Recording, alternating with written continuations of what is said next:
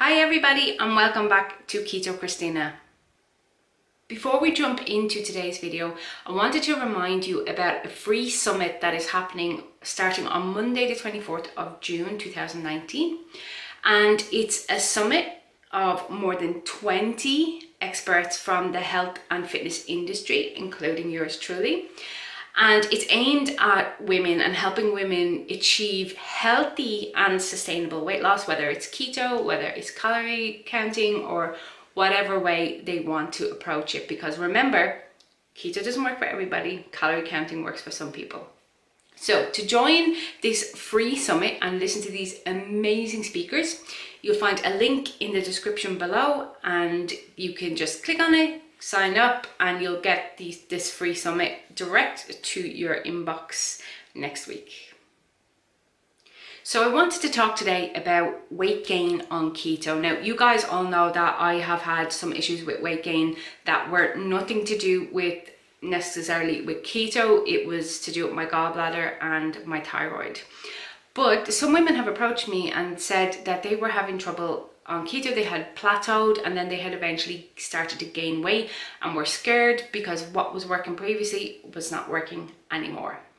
Now, one of the big issues around keto that not many people discuss is fat intake. Okay, so we're obviously meant to eat a lot of fat, and you've heard me say numerous times that we should be lowering our dietary fat so that we can eat our stored fat.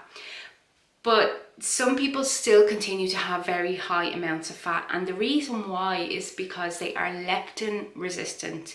Now leptin is the hormone that signals your body to stop eating, you're full, that's it.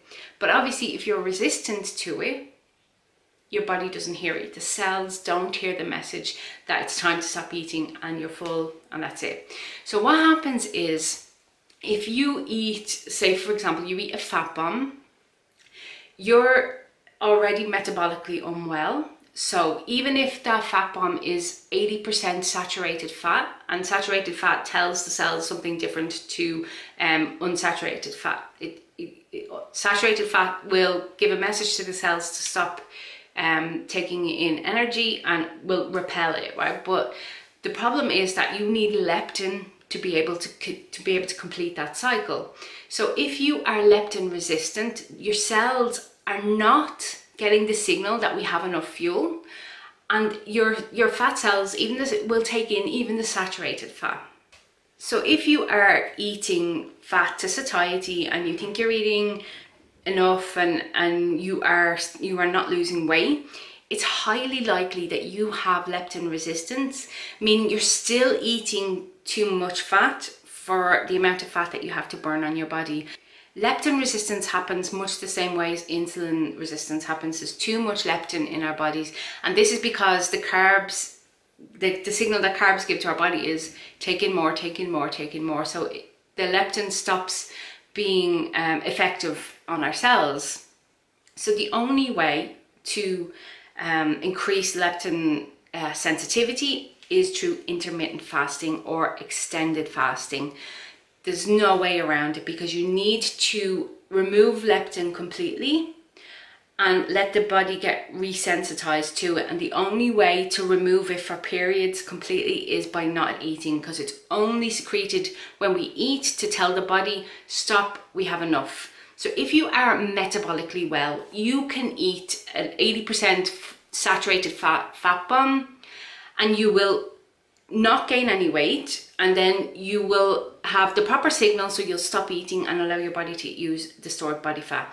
But in you and me, the ones that are metabolically unwell, still have weight to lose, are overweight, that's not going to happen. If you eat too many fat bombs, too much cream, too much cheese, and a lot of saturated fat, even though the signal from saturated fat is will in a metabolically healthy person tell the cell to repel the energy, in you me, that's not going to happen. So take a look at how much fat you're eating. And if you are still plateaued and you are still gaining weight on keto, then you need to introduce some intermittent fasting and try and get that leptin resistance under control. I know it might seem extremely complicated because we are talking about what happens at a metabolic biochemical level, but the problem is that when we look at these type of systems in isolation, we miss essential parts. So yes, in a metabolically healthy person, you can eat 80% fat bombs every day and that's all you can live on and you will lose weight. But in a metabolically unwell person like you and me, we can't do that.